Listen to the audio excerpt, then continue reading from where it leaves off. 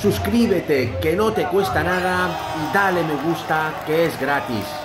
Antes de empezar, no te olvides de darle me gusta, pulsar el dedito de arriba, que no te va a costar nada, es totalmente gratis para que este vídeo llegue a más culés como tú.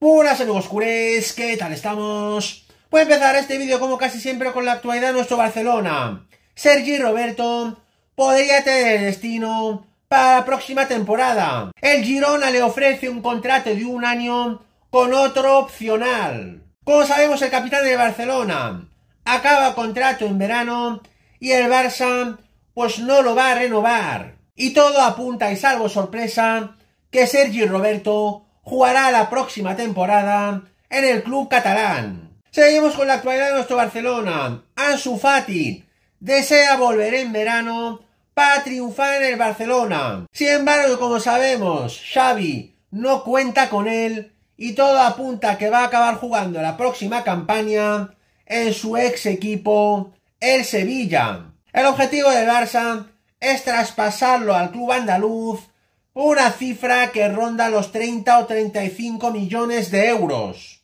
Y ahora vamos con lo más viral de la rueda de prensa que ha dado Xavi ayer. El egarense reconoce que se ha equivocado en anunciar su marcha en enero. Muy importante. Vamos a escucharlo. Gonçal Morri de, de Catalunya Ràdio. La meva pregunta és per, per l'entrenador uh, Xavi Hernández. Parles d'aquests motius que t'han decidit uh, continuar a la, a la banqueta, però els motius pels quals vas decidir que no volies continuar i continuen sent, és a dir, la pressió serà la mateixa, l'equip continua estant en construcció i, a més a més, tu mateix vas dir aquí que si no guanyaves títols, eh, plegaves. Mm, no sé què, què, què, què et genera això i fins a quin punt t'ha costat prendre aquesta decisió. Merci. Sí, sí, no ha sigut una decisió, evidentment, senzilla ni fàcil, perquè el mes de gener ja li vaig transmetre amb el president, Deco i tota la Junta, Rafa, eh, creia que era el millor pel club. I en aquests moments les circumstàncies han variat, han canviat, penso que és el millor pel club. Aquesta continuïtat, eh, ho, vam, ho vam parlar ahir eh, molt, molt directament amb el, amb el president, sobretot a casa seva. Penso que el projecte no està acabat.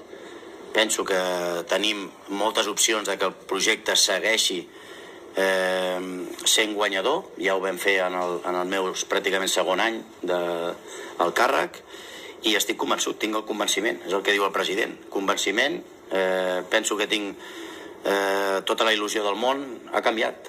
Ha canviat. Aquests tres mesos m'han fet veure tot i sabent els jugadors, que, que és part molt important d'aquesta decisió, que jo marxava, doncs que han estat amb l'estaf, ens han donat tota la confiança. He parlat molt amb ells i creuen en tot això, i això m'ha fet canviar d'opinió i per tant, com rectificar de savis, doncs eh, aquí estem per rectificar. I no tinc cap problema, ja vaig dir que no era un tema d'ego, que no era un tema de diners, que és un tema de club. Jo estimo el Barça, i li vaig dir al president, dic, mira, em veig capaç, penso que hi ha un projecte, hem fet debutar molta gent jove, eh, tinc l'energia, eh, tinc les ganes i veig l'afició contenta, orgullosa tot i perdre, que això no és fàcil a Can Barça, per tant, penso que és un còctel de, eh, de raons que em fa decidir de, de continuar i sobretot la confiança del, del president i de, i de Deco, això és evident, també dels jugadors, però si ells, a ells hi vaig dir, si no és un tema de, ni de diners, ni d'ego. Eh, si veieu que no sóc la persona, eh, doncs no passa res, jo ho deixo i ja està. Però vaig veure la confiança de tothom i, per tant, eh, per això estem aquí. ¿Qué tal? Muy buenas, David Bernabéu, Diario Sport Sport TV. Mi pregunta es para, para el Mister.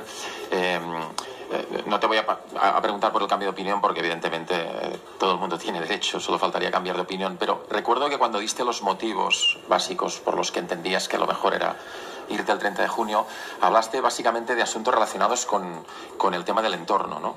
Eh, de, lo agitado que estaba el entorno, de que sentías que el proceso no te compensaba y llegaste a decir que el que viniera, seguramente en tu sitio, le pasaría exactamente lo mismo. ¿no? Entonces yo te pregunto, de cara al año que viene, eh, cuando haya un momento difícil, que los hay siempre en una temporada, se puedan perder dos, tres partidos seguidos y haya ruido, ¿cómo has pensado que vas a gestionar este asunto con relación al pasado reciente? Sí, pero yo tomo la decisión por el bien del, del club. Pienso que, que, mi decisión en aquel momento eh, va a mejorar en, en, todos los aspectos eh, a nivel psicológico, a nivel eh, incluso físico, a nivel de grupo, a nivel de club, de, tranquilidad para trabajar, ¿no? Por eso la decisión. Y ahora las circunstancias han cambiado. El año que viene pues tendremos que lidiar si la situación va mal con todo esto. Pero conozco el club, no, es, no era el motivo principal el entorno ni la presión, si no ya no hubiera empezado este, este cargo, ¿no? Sigo con la máxima ilusión. Eh, en muchas circunstancias me han hecho ver el, cambio de opinión, el rectificar y, aquí estoy con la máxima ilusión para, para, para seguir ganando, para que el proyecto sea ganador. Buenos días, Josep Capel de Radio Nacional, aquí. Eh, buenos días. Eh, mi pregunta es para Xavi. Eh, comentabas hace un momento que eres un hombre de club y que siempre has tomado las, decisiones pensando en qué era lo mejor para, el club, más incluso que, para ti. no te voy a preguntar por las razones porque ya los, lo has explicado, pero sí que me gustaría que me dijeras si tres meses después ¿Crees que la decisión que tomaste, no que te hayas arrepentido, porque si la tomaste es porque tú creías que era lo mejor del club, pero visto los resultados finales, eh, final, tres meses después, ¿crees que la decisión que tomaste entonces fue equivocada o no? Gracias. Bueno, yo pienso que fue la, correcta y lo que necesitaba el equipo era un cambio y el club un cambio de rumbo en ese sentido, ¿no? Lo hice de corazón por el bien del, club en general. No lo hice a nivel eh, de puro egoísmo para mí, todo lo contrario, lo hice para para el bien del club y así se lo transmití al, al presidente. ¿no? A partir de aquí, bueno, sí, equivocada porque ahora siento realmente todo lo contrario. Siento que el proyecto no se ha terminado, que necesitamos creo que estabilidad, que la gente joven que le hemos dado la oportunidad pues cree en, nosotros, no solo la gente joven, sino toda, toda la plantilla me ha, me ha dado su apoyo. Eh, son las razones principales y evidentemente la confianza del presidente y, y de DECO, si no, esto no tiene ningún sentido.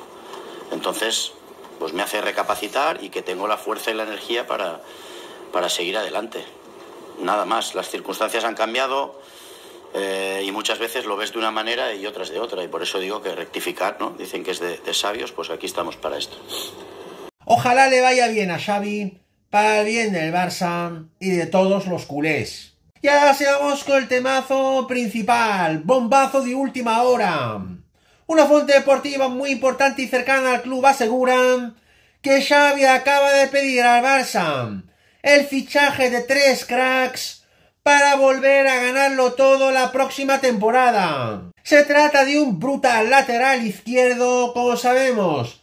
Joao Cancelo no va a seguir en el Barcelona y Alejandro Valde necesita competencia en esa posición, un pivote top mundial y un superdelantero, ya que Lewandowski estará en el mercado en verano. Esos tres cracks son el todavía lateral izquierdo del Valle Leverkusen, internacional con España y ex canterano culé, Grimaldo. Como sabemos, Grimaldo ha sido el mejor lateral izquierdo de Alemania y uno de los mejores de Europa. El mejor volante del mundo, el alemán Joshua Kimmich, le queda solo un año de contrato y forzará su salida para jugar en el Barça la próxima temporada. Y por último, y aquí viene el verdadero bombazo, el superdelantero argentino y campeón del mundo con la albiceleste y todavía jugador del Manchester City, la araña Julián Álvarez.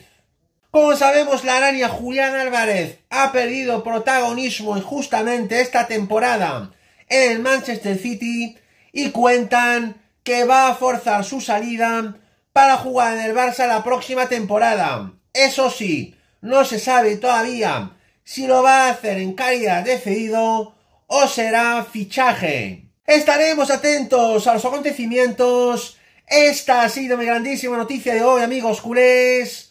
No os olvidéis suscribirse a mi canal, que no os cuesta nada, pulsar un like como siempre y dejarme comentarios para cambiar opiniones. Muchas gracias, Forza Barça por siempre, vamos a levantar esto y nos vemos muy pronto en mi próximo vídeo. ¡Vamos!